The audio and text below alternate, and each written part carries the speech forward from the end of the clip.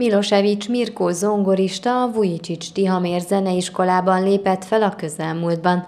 A Budakalászon élő művész a koncert előtt Zilaher Tamás újságíróval beszélgetett. Milosevic Mirko Milán, már a névből is hallatszódik, hogy szerb gyökereid vannak, apai ágon szerb származású vagy. Mennyire fontos ez neked az életedben, és mennyire fontos a zenében? Elég meghatározó, hiszen kisgyerekkoromtól kezdve szerb zenét hallgattam, otthon szólt a délszláv zene, és ez beépült. És mai napig a magyarországi szerb kisebbség bizonyos rendezvényein szoktam szerepelni. Tehát ez mai napig megvan. Iskolánk névadójához, Vujicsis Tihamérhoz is van kötődésed hogyan? 2009-ben volt a Vujcsics Blues nevű színházi rituálé, amit édesapám írt, és Vujcsics Tihaméről és testvéréről, Vujcsics Stojáról szól az előadás. Beszéljünk akkor most már a te életedről és a zongoráról, a jazzről. Kisgyerekként, amikor még a Pomázi, illetve még előtte a Budakarászi zeneiskolába jártál, akkor még, ha jól tudom, klasszikus zongorát tanultál, de akkor is már motoszkált-e a fejedben, hogy egy kicsit könnyedebb műfajban szeretnél ezt űzni, vagy, vagy először még a klasszikus zongora tanulmányokkal kezdtél? Hát a, a klasszikus zongora tanulmányok azok úgymond kötelező jellegűek voltak, illetve egyetlen opció volt, hiszen mindennek az az alapja. És logikus volt, hogy hogy az ember azzal kezd egy hangszeren tanulni, de kiskoromtól fogva is könnyű zenéket hallgattam, és könnyű zenén is nevelkedtem és nőttem föl. Tehát ez ugyanolyan, um, ugyanolyan fontos, mint a klasszikus zene, illetve a jazz zene. Amikor viszont átkerültél a Pomázi zeneiskolába, ott már kifejezetten jazz zongorát tanultál. Mennyiben más ez, aki esetleg klasszikus zongorát tanul, annak mennyiben más utána jazz zongorát tanulni, mennyiben más mondjuk egy óra, mennyiben más darabokat tanultok? Merőben más, teljes, teljesen más.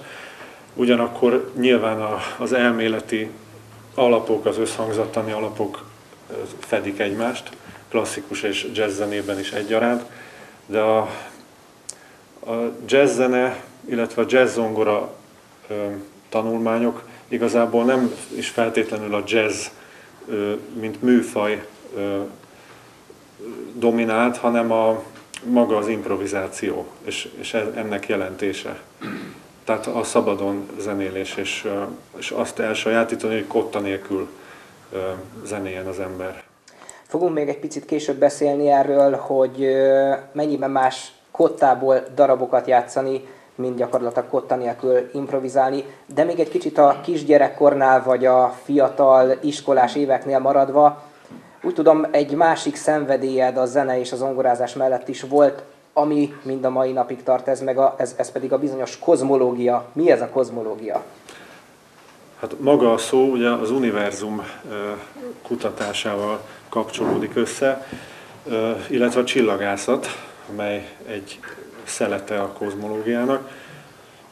Nagyon sokáig úgy gondoltam és, és terveztem, hogy csillagász leszek, aztán mégis erősebb volt a zene. És akkor, de valahogy ez a kettő összekapcsolódik. Hogy, hogy tud összekapcsolódni ugye a, a csillagok, a világűr, a megfoghatatlan, a végtelen, és a zene, ami megint csak egy kicsit sokszor megfoghatatlan, nem nagyon lehet a definícióját leírni annak, hogy mi az, hogy zene, hogy kapcsolódik ez a kettő mondjuk a te életedben össze? Hát rájöttem, illetve én úgy gondolom, hogy a, az univerzum legnagyobb jelensége a zene. Így. Röviden és tömören. Így. És, és ez, ez nyilván ugye a, a kozmikus dolgokkal foglalkozó filmek például, vagy, vagy akár ezek a zenei irányzatok, például az elektronikus zenei irányzatok, ezek megpróbálják kifejezni, vagy visszaadni a, hogyha például az ember elmegy a planetáriumba, ott is megvan határozva, hogy milyen fajta zenék szólnak. Ezek szintén kis korom óta érdekelnek, és, és hallgatom az ilyen fajta zenéket is. A tanulmányaidnál maradva még egy kicsit a gimnáziumi éveid alatt kezdett kibontakozni a jazz zongorista véned, vénád, akkor alapítottad az első rockzenekarodat is. Erről mit lehet tudni, illetve a folytatásáról, ami tulajdonképpen az életednek egy állomása volt, amiből aztán hát tulajdonképpen mind a mai napig élsz. Igen, hát itt az első zenekar a Vászon mellény, amire Igen. mondod. A Vászon mellényt valóban harmadikos gimnazistaként hoztuk létre. Ez egy alternatív zenek, alternatív rockot játszó zenekar volt. A Quimby zenekar hatására főleg. És ez, ez teljesen összhangban volt, és, és így összekapcsolódott azzal, hogy én akkoriban jazz zongorát tanultam már. És, és magában a jazz zongorázásban is benne van egyfajta lázadás, akár csak a, a rockzenében, és erről szóltak a gimnáziumi évek.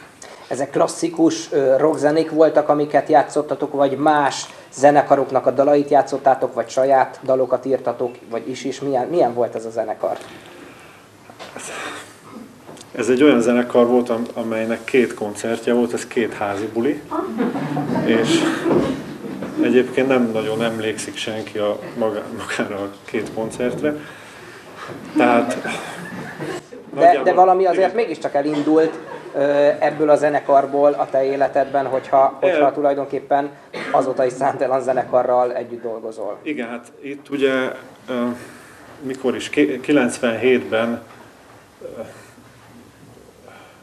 ez 97-ben jött, 97 elején, és akkor egy 5 oktávos Yamaha szintetizátoron játszottam ebben a zenekarban, és hát ez, ez meghatározó volt, hiszen egyrészt megismerkedtem a szintetizátorral, illetve más szintetizátorokkal is, meg azzal, hogy mi, milyen a, a csapatban való zenélés.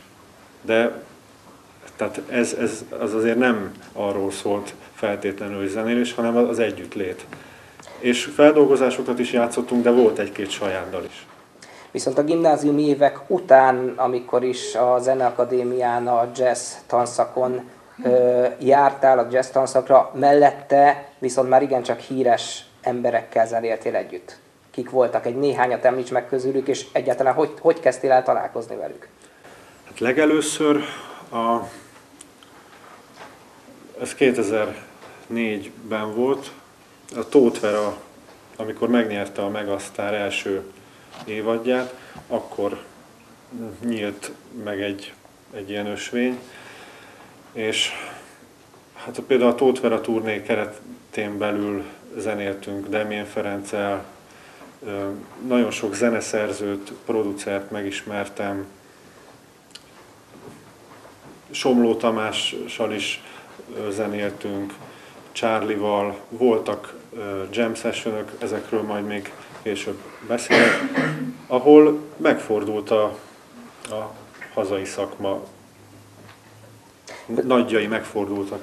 Lehet azt mondani, hogy mondjuk ez az időszak volt a te karrieredben is egy áttörés, amikor, amikor belekerültél tulajdonképpen a, az akkori könnyűzenei élet krémjébe?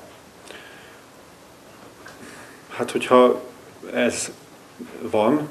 És, tehát, hát ezek a nevek, akiket mondtál igen. abban az időszakban, akkor, és azért azóta is. Abban az esetben igen. Tehát ez, ez volt, ez a körülbelül 7-8 évvel ezelőtti időszak. És, de ugyanakkor meg ö, olyan nagy áttörésről meg nem lehet beszélni, mert egy billentyűs sosem lesz a színpad közepén elő. Tehát mi általában akárkivel zenéltünk, mi a háttérben voltunk. Tehát mi, mi toltuk a szekerét az aktuális ismert embernek. De azért nyilván nem mindegy, hogy egy ismert embernek a szekerét toljátok, vagy a mindenki által elfelejtett házi buliban zenéltek. Persze, hiszen a, a közönség, meg a, a tapsvihar, meg a, a, a, a koncerthelyszínek azok, azok ugy, ugyanúgy vonatkoztak ránk is. Hamarosan innen fogjuk folytatni a beszélgetést, de annyit már elmondtam, hogy improvizálni fogsz. Mégis mit lehet elmondani a következő percekről, miket fogunk hallani, milyen jellegű műveket fogsz előadni, és mikre fogsz improvizálni?